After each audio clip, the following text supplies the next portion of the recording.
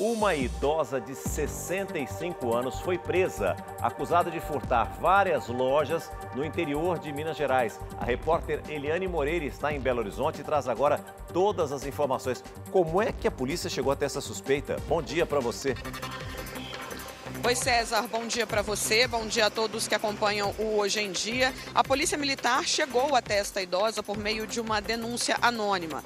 Pouco antes da prisão, ela foi flagrada furtando algumas peças em uma loja de produtos infantis. Ela vai até os fundos do estabelecimento e coloca algumas peças dentro de uma bolsa. Uma vendedora aparece e ela tenta despistar e pergunta o preço de uma outra mercadoria. A Polícia Militar começou um rastreamento e conseguiu conseguiu fazer a prisão da idosa em Belo Horizonte.